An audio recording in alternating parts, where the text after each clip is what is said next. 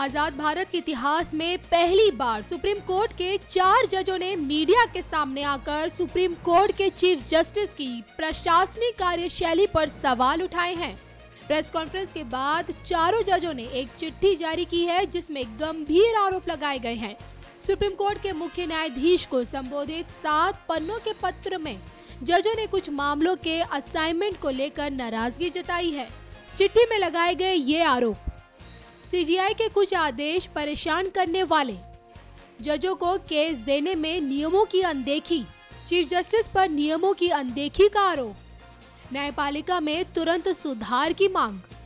न्यायपालिका की आज़ादी पर असर का आरोप। तो प्रेस कॉन्फ्रेंस के दौरान जजों ने लोकतंत्र को खतरे में बताया और कहा कि वो मजबूरी में मीडिया के सामने आए हैं। एनएमएफ न्यूज़ की रिपोर्ट।